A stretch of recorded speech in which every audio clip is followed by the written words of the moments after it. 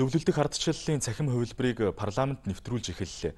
Хуулийн төсөл боловсруулах, хэлэлцэх, хууль сурталчлах ажилд цахим системд одоо нэвтэрч иргэд хүссэн газраасаа хуулийн төсөл саналаа өгч хэлэлцүүлэх мөн хууль тогтоогчдтой хамтран ажиллах боломж бүрдэж байгаа юм а.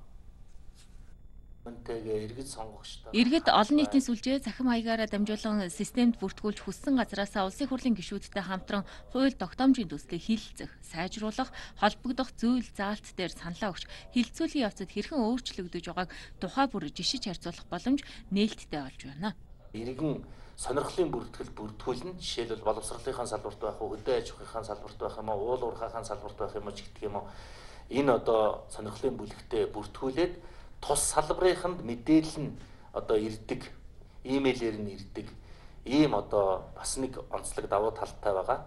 За хуулийн төсөлд өөрчлөлт оруулах бүрт шинэ хувилбарууд нь үүсээд хизээ хэн ямар өөрчлөлт хийснийг нь жишгэн харах ийм боломж бол иргэдэд бол энэ нээлттэй болж байгаа ийм зүйл байгаа. Ард түмний оролцоотойгоор туйшралгүйгээр за нийтийн ашигт нийцүүлэн хөгжилд хөтлөх за шударгаар асуудлыг одоо шийдэх зарчим бол зөвлөлдөх ардчлалын зарчим байдаг. Энэ зарчмаар Монголын төр ард түмэнтэйгээ хамтдаа за хууль боловсруулах энэ ажлыг ийхүү цахимаар эхлүүллээ.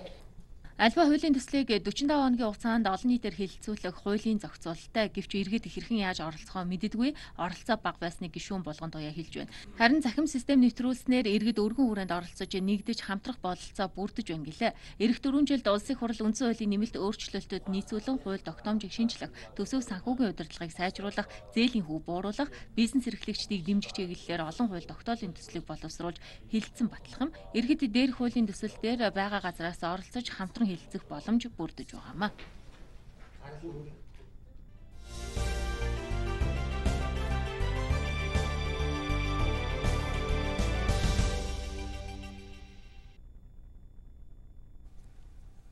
Улаанбаатар хотын агаар дахь хөхөрлөг